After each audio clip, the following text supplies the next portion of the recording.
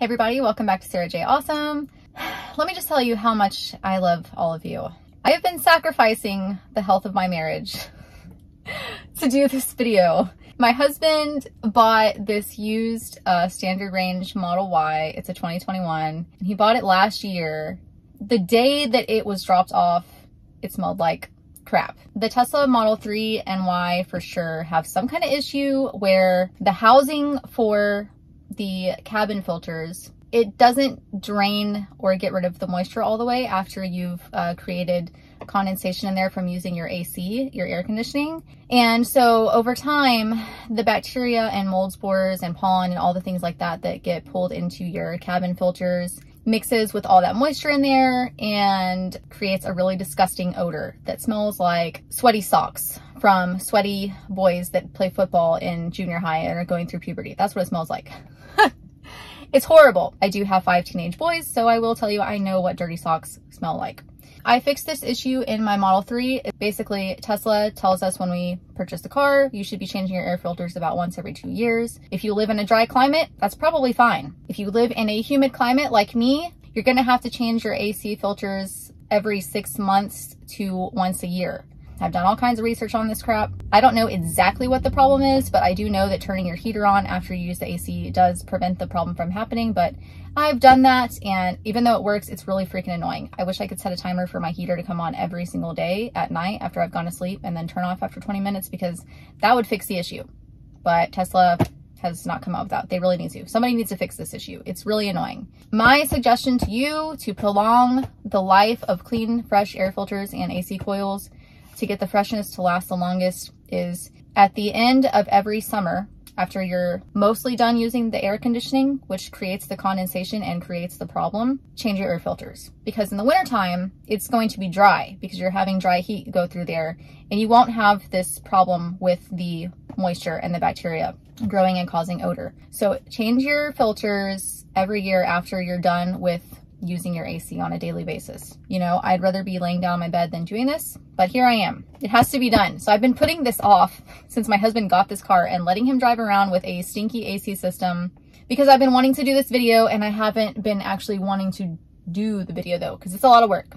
So we're gonna get right to it. You don't really need that many supplies. Um, I love these Breathe Easy filters that I got. I I got these for my Tesla Model 3 as well. I am not sponsored by them in any way. I did a lot of research and these are the ones that I fell in love with. They're cheap, they work. I've had no issues with them in my Model 3 and they look exactly the same as the Tesla ones. So I highly suggest these. Next we have Nextzett Klima Cleaner. I like this one over the Kool-It. I haven't used Kool-It. I'm not going to because I've had so many other people tell me that they hated it. I love this one. So I will continue using this.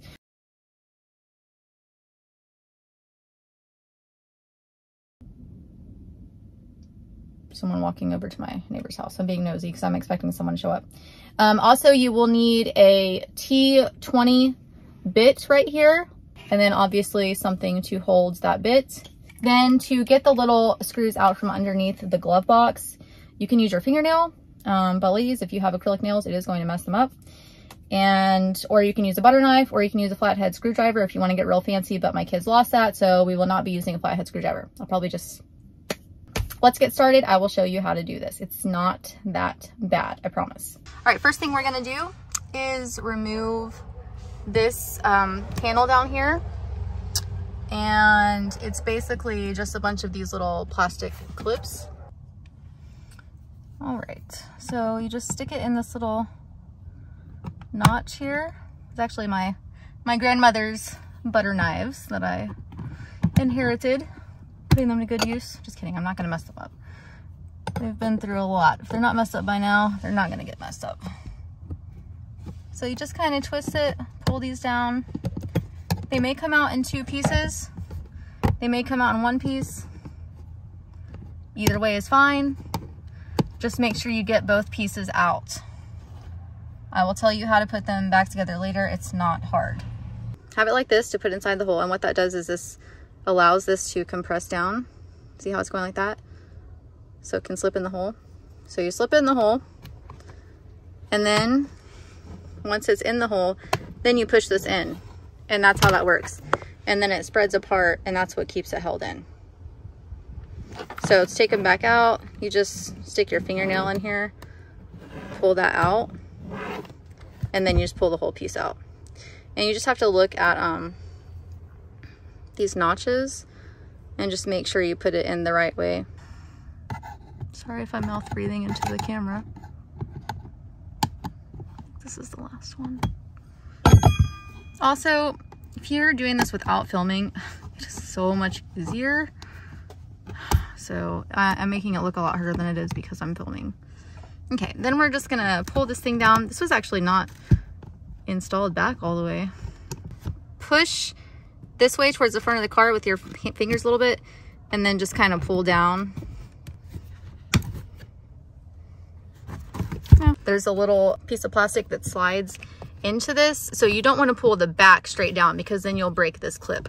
But if you just pull the front of it down, this part, pull the front of it straight down towards the ground and then slide it out the rest of the way straight out, then this will pull out of this little slot right here. And we don't need to disconnect the speaker and all that. I know other people have done that. It's really not necessary. Next, we're gonna pop this side panel out. This is the side of the center console. Okay, so once you've removed this guy, just set him to the side. That was not me farting. That was my elbow in the seat, just FYI. you can actually reach your hand back here on this car, which in the Model 3 I think was a little bit harder. But you can actually just run your fingers down here and pull straight out does fart a lot, you know. Just running your hand from the back all the way around the sides to pull it straight out. get my hand down in here. It's best to get your fingers on either side of each clip if you can to make sure you're pulling straight out. I have one guy in the middle. It's being tough. Ugh. There we go. That guy, the little white piece right there, that's the one that's giving me trouble. So I'm gonna have to get my hand around there and pull straight out as much as I can. This is angled too much to pull it straight out, so I'm gonna have to wiggle my hand down in here. There we go. So this one on this thing was really difficult and this one. But what I did was, if they're being really difficult, you can take your, your butter knife, your grandmother's butter knife, um, or flathead screwdriver and kind of push down on these plastic clips like this and that's what I did to kind of release it a little bit because it, it compresses these clips. These clips just come off like this, watch. Whoops. That's what the clips look like in here. And then they just go back on like this. I'm trying to do this one-handed and film. See, no clips were harmed. That's good, they don't have any that slide in. So you just pull this whole side panel straight out on the driver side in the Model 3, there's something where it, there's like a hook here that slides in. So you have to pop everything straight out and then pull it back and out. But this one on the Model Y, pull it straight out like this, every single clip. All right, so this is what it looks like. And this is the door that we're gonna remove. And this is amazing because they moved this screw down to the bottom. In my 2020, it used to be at the top. And it was a freaking annoying little screw to get out of there because you could not get up in here and unscrew it easily. So super excited about that.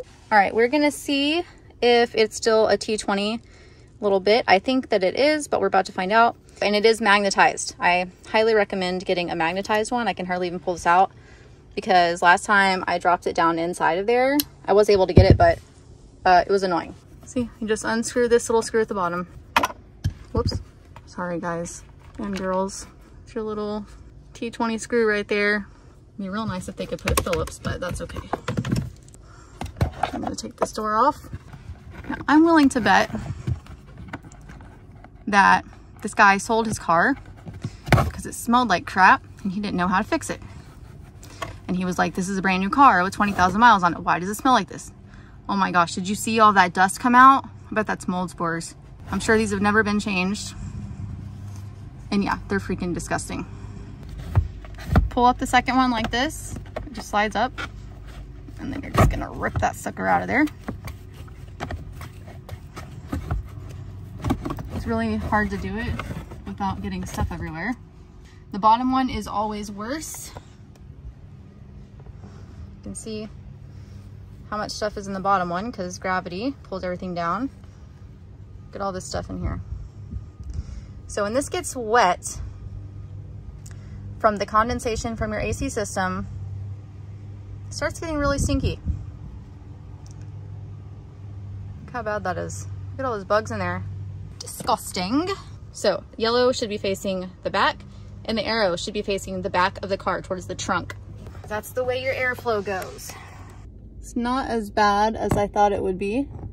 There's a little bit of debris down there, but not too bad. That in the middle, that's your drain hole for the condensation. This back here, those are the fins that go over the AC coils. The AC coils are what get really, really cold and create condensation.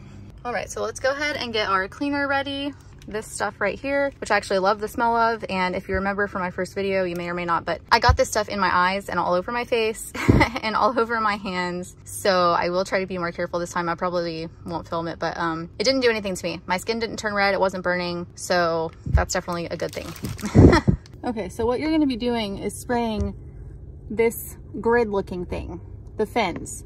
You're gonna start at the top, work your way across from passenger side to driver side, driver side to passenger side, and you're gonna go all the way down from side to side, from the top to the bottom, and soak this whole thing in foam. You just wanna start spraying, moving it back and forth.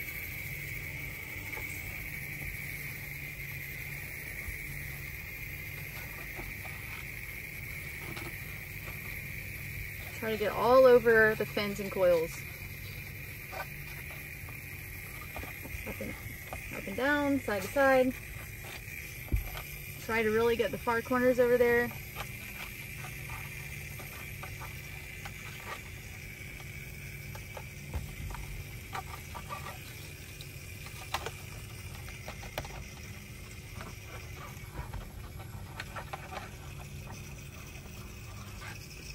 You definitely want to get around the edges.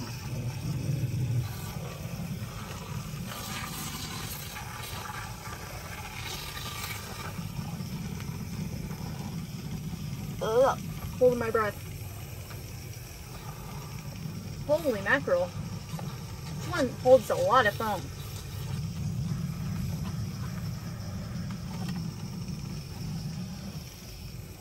I thought the can was smaller than last time I used it, but there's like more foam. Keep holding it until it is totally empty Dang, that is more foam than last time. Holy crap. Also, the Nextzett, I think it has over 10 ounces of stuff and the Kool-It only has six something ounces of stuff. So you get almost twice as much foam. Let's take a peek here. We did a pretty good job. So we're gonna let that sit.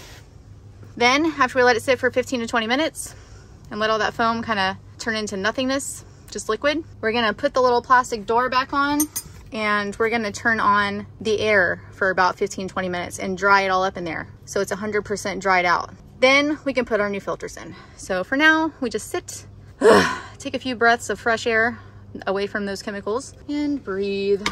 So I'm betting this is about 28,000 miles worth of crap in here. We got the car with about 20,000 miles on it and I don't really think that the guy ever changed it. And then we'll take a look at these Breathe Easy cabin filters. They're basically exactly the same, except this one is way cheaper and does all the exact same stuff as that one. This is what it's looking like in here after about five minutes. The foam starts dissipating pretty quickly. We did get all the way to the very top of it, which is great and it all falls down. So that's why you want to get most of it at the top. It's all going to go down. And we also got in the front of the compartment. So you can see all that dripping out underneath there. That is our Nextzett Klima Cleaner. It drips out from right behind basically the front wheel axle, if you will. How does my hair look? Does it look okay? I can't really tell. just sitting here waiting for this to um, dry and all the foam to dissipate. I did not tell my husband that I'm doing his filters finally today after he's been waiting for months and months with a stinky car. So hopefully he will be happy when he gets in here and it doesn't smell like crap anymore. I feel bad I waited so long, but you guys, I'm burnt out and I'm tired. ah, all these teenagers and puppies are killing me. Not really, I'm okay. But um, yeah, so happy to finally be doing this. It's, it is annoying having to do this, but um, I would much rather do it myself. I mean, I kind of personally enjoy it. I would enjoy it a lot more if I wasn't filming because that just makes it so much harder to get all the shots for you guys. But next time I do this, I won't have to film it because I've already done it once on both cars. But um, honestly, if you're not filming and you know what you're doing, it's super easy. Literally, a child could do this. It's not hard and it's not dangerous and it's not going to mess up your car. It's going to be fine, I promise. And it will get rid of the smell for at least six months in in my experience. Now, the Model 3, um, I got the smell after about 17,000 miles. I changed it. Excuse me, I just ate a lot of Chinese food. um, and now I have 40,000 miles on my car. And um, it did start to get stinky one more time about seven months after I changed the filters and did this. But I just started turning the heater on um, after I would use the AC a lot for about 20 minutes when I got home. Like after I'm just laying in bed doing whatever. I set a timer on my phone for 10, 15, 20 minutes, turn the heater on full blast in my car, and then just remember to turn it off because it does drain the battery a lot. Um, and that will just dry out the whole HVAC system so that you don't get this uh, buildup of moisture and bacteria in there. And that actually, that actually fixed it. It did go away. So I've only changed the filters once in my car in 40,000 miles. And every time it starts getting a little stinky, I just start putting that heater on for 15, 20 minutes every night um, for a while. And it, it gets rid of it. So um, if you if you did that every night, this wouldn't even happen because you'd be drying it out completely every night after AC use during the day. But I'm just, I'm honestly, I'm too lazy and tired for that.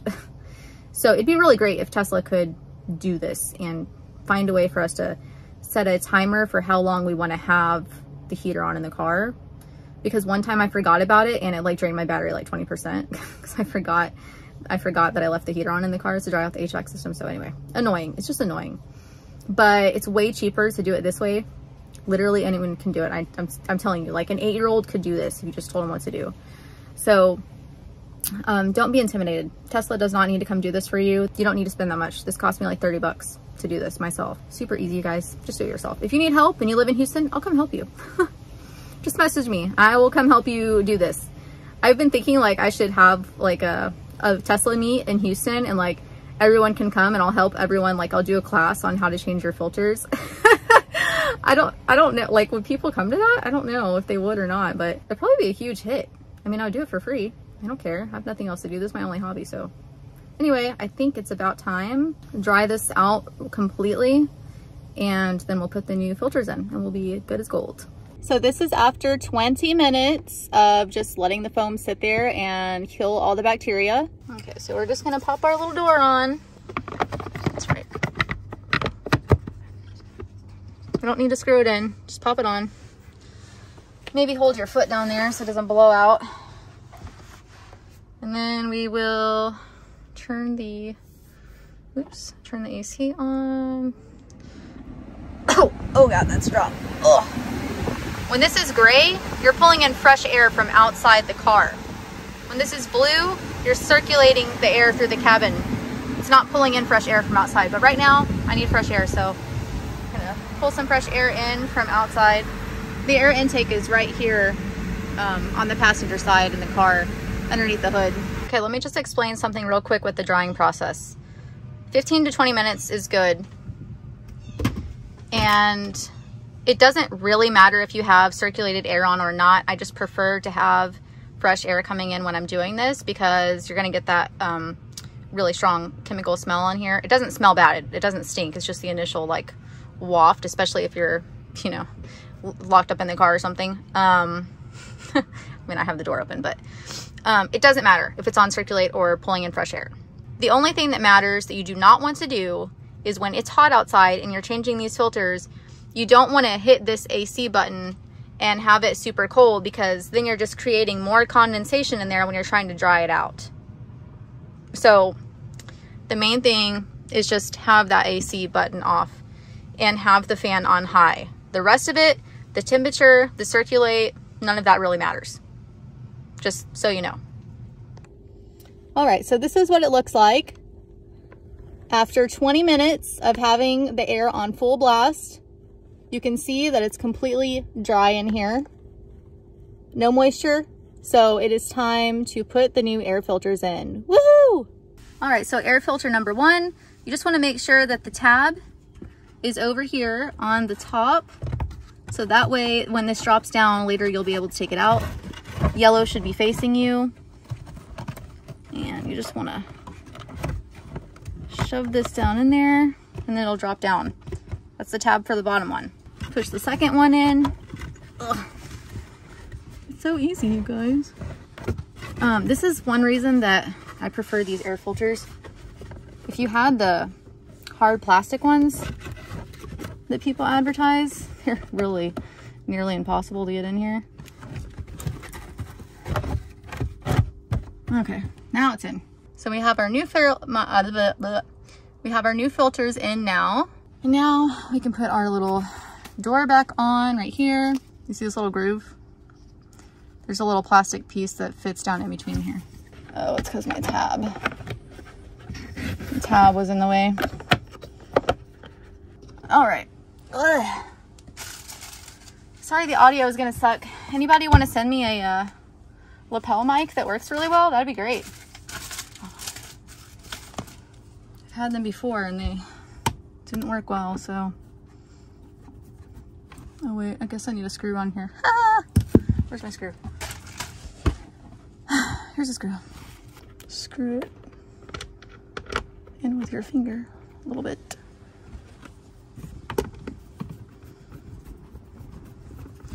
Man, I'm so happy they changed this. You know, they have to go through a lot of work to change this. The machine's making this whole area to flip that screw around for us. It's really nice. I'm a little out of breath from hanging over like that. It's really nice they put that on the bottom though. Makes it so much easier. All right, now for the side panel. Never mind the leftover uh, hand sanitizer from, you know, pandemic. So these two guys right here, these are the hardest ones. They are a freaking pain in the butt. so we're gonna put those in first. So you just go like this. Can you see everything? You see what I'm doing? Okay, start with the bottom. Line up those two guys first because I'm telling you, they are freaking pain in the butt. So you can see I lined up the guys that are super annoying first. And then we're just gonna punch it. Make sure it's lined up. Punch it. it's like an 80s song. Punch it, punch it. So just line up all the white clips. You can see that one there. He pops in easy. These are all easy. Line it up, pop them in. Easiest clips I have ever seen on any vehicle. I love it so much. I've never broken any clips. Just pop these guys in. Make sure they're lined up. Let me get a good angle here. Whoops. All right, we got that back in. No clips were broken. Everything is good. Start from the bottom and work your way up. That way you can see if you got every clip in the right spot before you punch it. Now we're gonna put this guy in. And you see this thing right there? That has to slide over that. It's gonna be the only complicated part. It's not complicated, but slide that in. Take a peek, make sure everything's lined up, popped in, and then we'll put our little clips. All right, I got it up there more flush than the last person, whoever did this. Now we're gonna put our little plastic clips in. All right, so we have four plastic clips. One right here, just make sure it's, you know, pushed apart when you push it in and then push the little button in like that. Again, make sure it's separated like this. Poke it in the hole, pop it in. Poke it in the hole. Oh no, we lost the hole. We can't find the hole. Just kidding, it's fine. As long as you can see the hole. There we go. And last one over here. That, pop it in. And we are done. Look how easy that was. It wasn't that bad, right? I need some water. I have AC cleaner in my throat. Should we put this the sexy hair back? Oh, that's it. It's not that hard. Literally anyone can do this. Um, the smell is already gone. When I'm cleaning it out, like when you first hit the um, the fan button in the HVAC system, the AC or whatever, turn on, and you're blowing out all the um, stuff and drying it up in there, it smells amazing. I personally love the smell of the Nextzett Klima Cleaner. People have said the Kool-It smells like um, spearmint or, yeah, spearmint, which I hate the smell of spearmint. I'm a peppermint girl myself. Um, so I'm not going to use that. And they said it just smells like musty spearmint after a while. This one smells like rubbing alcohol and kind of just like a fresh-ish scent. Um, it smells like it's really doing something and everything already smells fine, perfect. So um, I'm sure my husband will be super happy and so will my kids because every time we get in the car, we're like, oh, it smells so bad. Like it's literally the worst part of being a Tesla owner is dealing with this freaking smell. It's ridiculous. It's pathetic. um, but it's not that bad. It's like $35 to fix it yourself. So not that big of a deal anymore. When I first dealt with this problem, I was ready to rip my hair out and sell my car. And then once I got to the bottom of it, did a lot of research, went all through this, you know, went through all this myself um, it's not a big deal anymore and I'm willing to help anyone. So I'm happy with these products. Again, not sponsored, spent my own money on them. I don't have an affiliate link for them. I mean, it's, I get them on Amazon. So very happy with this procedure. I will be doing it forever. um, so we'll see how long it lasts, but for my car, it's been lasting for quite a while. So hope you enjoyed this. Hope that it's not intimidating anymore. I promise it'll be okay. It'll get rid of the smell you'll be fine. I've already done all the research for you. Just get these filters, get this cleaner. It's the same cleaner that they use at Tesla. They've also used the Kool-It brand. Do it yourself. Let me know if you have any questions. I'm happy to help anytime. Everyone have a great week. I hope you have great smelling AC systems after this, and I will see y'all next time.